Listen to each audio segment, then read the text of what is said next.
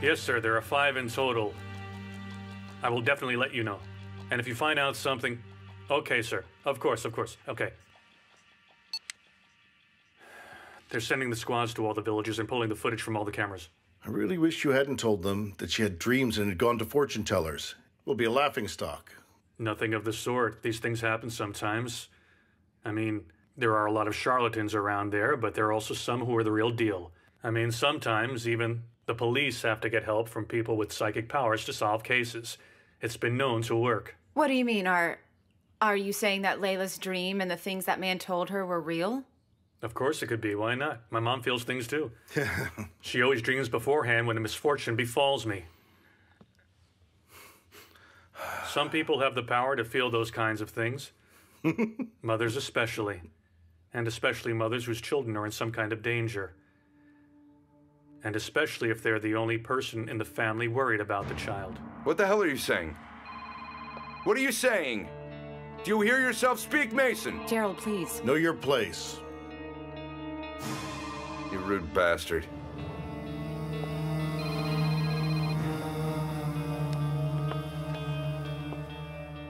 Yes, Father. Of course, something went wrong. Now Layla is missing. What do you mean? She is missing. We don't know where she is. We alerted the police and they are searching for her. Okay, Gerald. Call me with any developments, okay? Okay, I'll call you back. Talk to you later.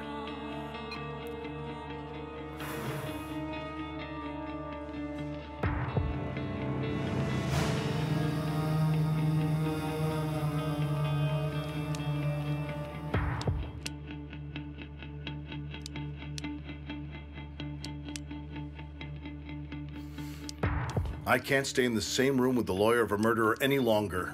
So, how do you look in the mirror then, Mr. Michael? Welcome. Hello, Alma. Come Thank on you. in, sir. Mr. Michael?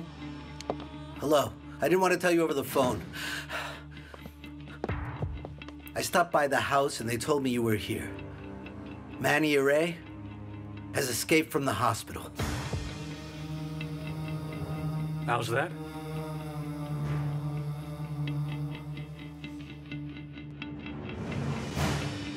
Come, let's talk about it inside. Your man took the DVD and left. You must be happy. What are you talking about? What man? You can't even lie very well, Gerald. That's why I'm sure your father sent that guy. Because you don't even have the guts to try and hire someone to attack me, do you? I really don't know what you're talking about, Erin, really. I think you know perfectly well what it's about. We both know very well what's what.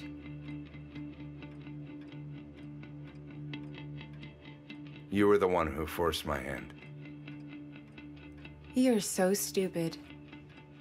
You think it's over because you have the DVD?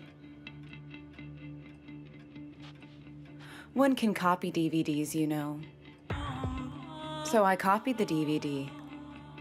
And I hid it somewhere you'll never find it. If you ever try and bother me again, or I come across something, everyone will find out what happened to William.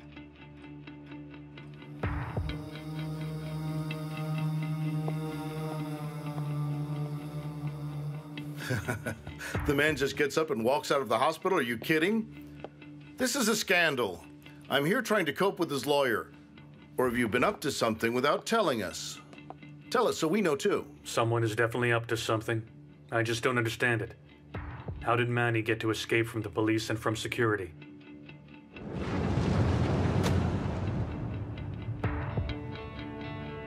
Get well soon. Who are you? I am Michael Sarman's lawyer. Actually, rather, I'm one of his many lawyers, you could say. And you came to tell me that? Are you here to scare me?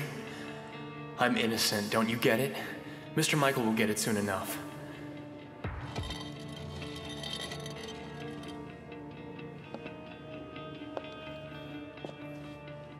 Thing is, that's precisely what Mr. Michael sent me here for.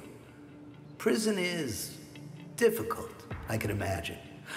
And amongst all of those killers and so many notorious criminals, the survival of a sensitive, artistic soul like yourself is somewhat impossible. Mr. Michael has many friends, too. On the inside as well as on the outside. I mean, friendships connected to business, of course. You can scream your innocence as much as you would like, you know? But nobody can be certain of this. And of course, then, they will still see you as the murderer of the respected wife of their respected friend. I wouldn't want to be in your shoes. Are you actually threatening me, sir? Uh, I'm trying to help you out. All the evidence is against you.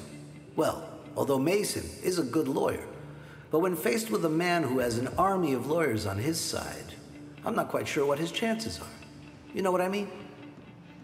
I mean, even if he clears your name, well, it won't be done in one trial. It Could take years.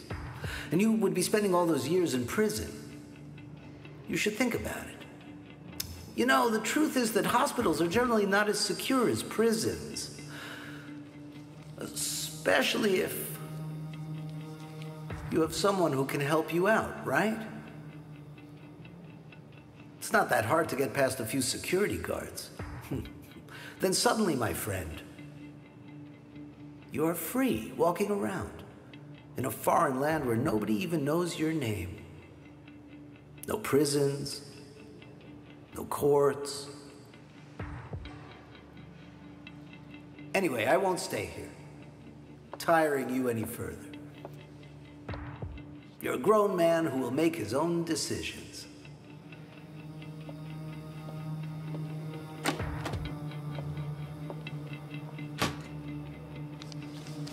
Dear Ali, Manny could not have escaped on his own. He's not that kind of guy, and he's in bad shape. It's impossible for him to escape in that condition. Why do you say that? There's one police officer standing guard there. He's a proven murderer, and now he is going to be out there walking the streets again. There is your so called innocent client. Maybe the man was just very scared of being killed once he was returned to prison. That he did something dumb like this. Isn't it possible?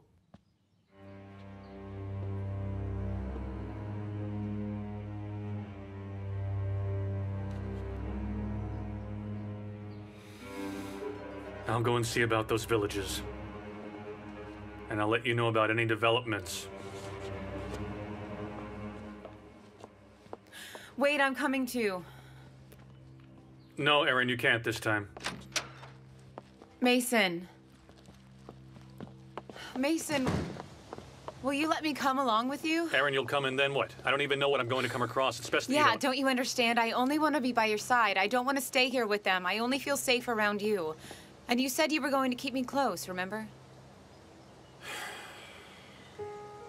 Okay. You can come, but you have to listen to every word I say. Do you promise? I promise. Come on. Okay, I'm opening it.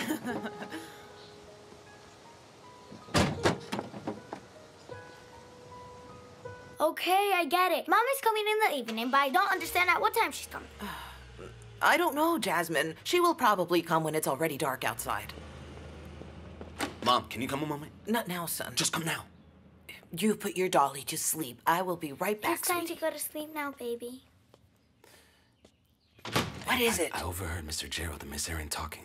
That woman said She said what? that everyone will find out what happened to William. Oh, my God. What is that supposed to mean then?